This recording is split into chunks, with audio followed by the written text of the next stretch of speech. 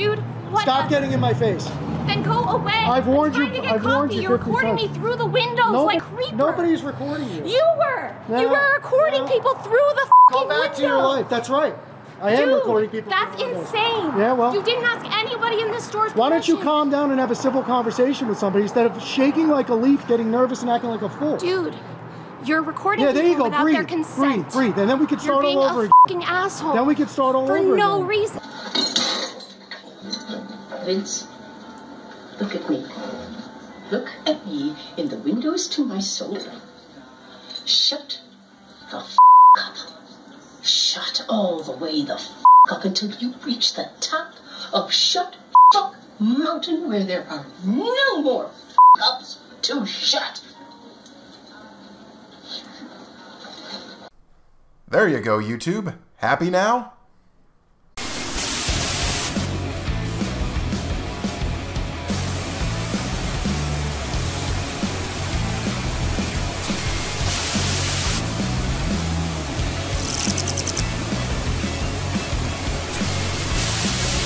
What's up, everybody? Welcome to Tones Overthinks It, the show where I think too much to make up for the people who don't think at all. And I'm back, ladies and gentlemen. I gotta say, that was the worst involuntary sabbatical I have ever had to endure. I could barely breathe, my voice was completely screwed up, and my ears practically stopped working, so I could literally hear no evil nor speak no evil. But I could certainly see plenty of evil, and boy did the new year come out swinging on this one. How's it going, guys? Amagansett Press. We are coming to you today from Tempe, Arizona. Oh, a bull artist. As I mentioned previously, Amagansett Press is back from his mysterious absence and went right back to doing what he does best. And that's being a morally bankrupt, degenerative pile of odious excrement, much to the surprise of absolutely no one. But yeah, we can't have the film film in the banking center. Sorry, but what are we doing? This is the bank. Yeah. We can't have you film in the bank. What, the outside? The outside of the bank. Yeah. Even any filming at the bank's not not. We have to have it approved through our corporate. Can you give them a call and ask him if it's okay?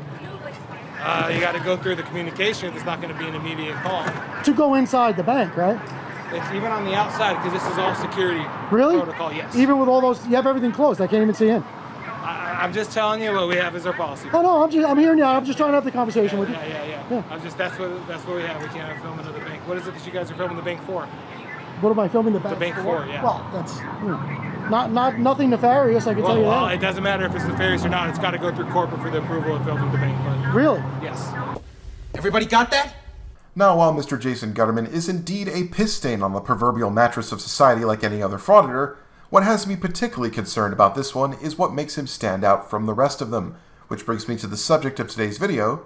Is Amagansett Press in fact the most dangerous frauditor? Now, if there's one thing I could describe about Amagansett Press that makes him particularly repulsive to me, is his style of frauditing.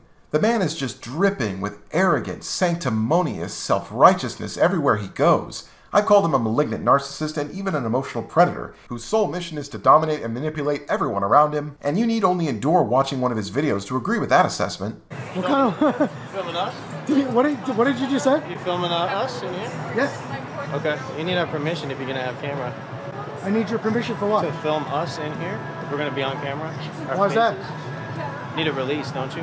Need a release? Tell you the truth, this guy's starting to get on my nerves. He just lives in this fantasy where anything and everything he says and does is infallible and no consequences or scrutiny should exist, but perish the thought anyone does anything in response and he's clutching his old sagging shriveled pearls for the rest of the video.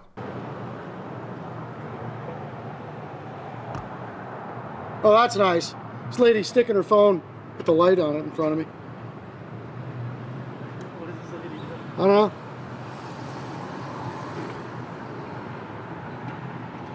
She's an agitator.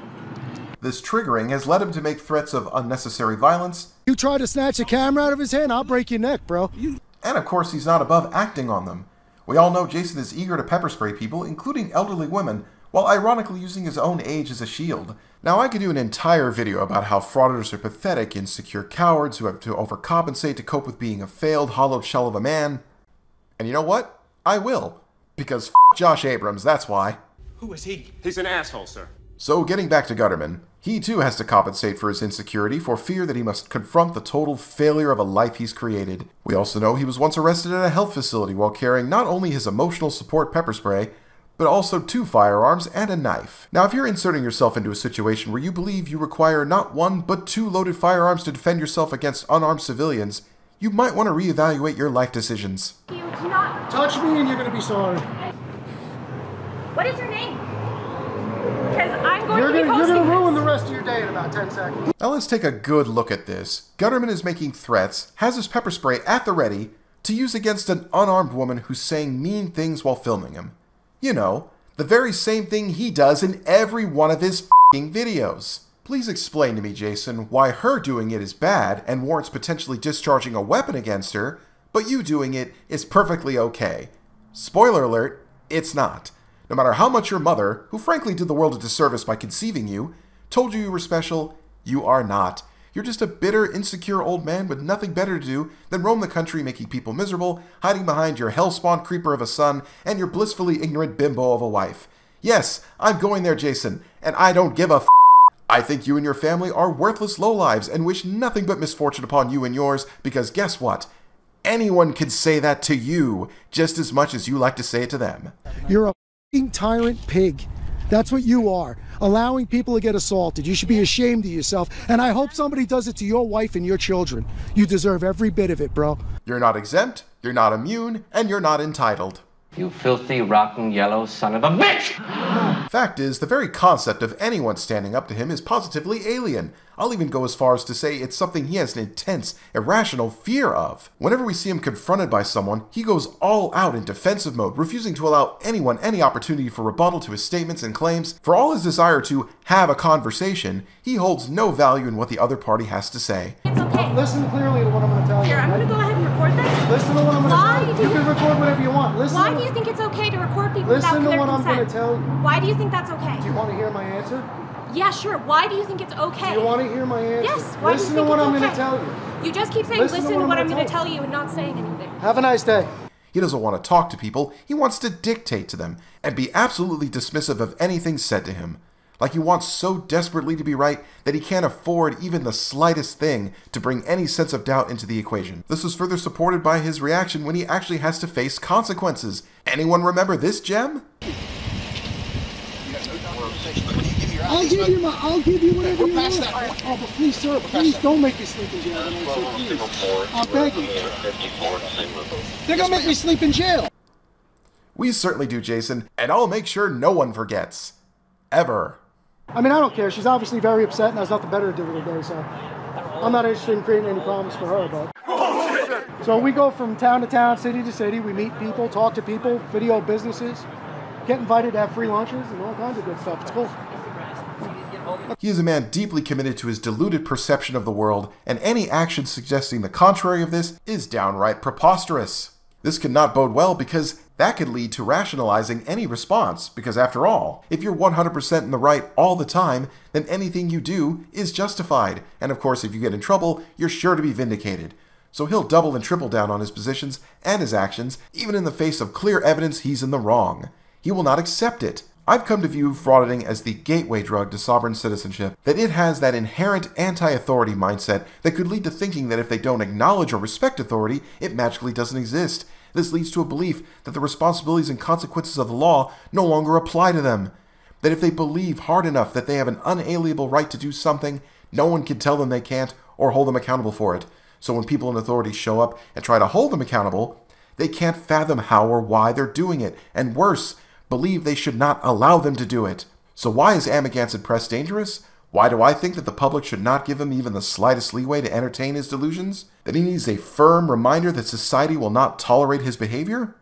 Well, let's just say this is not the first time we've seen a father and son duo travel the country thinking they're above the law, who think in their own twisted reality, where they can do anything without consequences, and eventually believe they have every right to preserve that reality by any means necessary.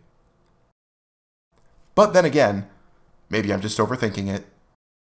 Thanks for watching, everybody. If you like what you see here and you want to see us do even more in the future, be sure to subscribe to my channel. Please remember to hit that like button and feel free to share your thoughts in the comment section below. I always like to read them.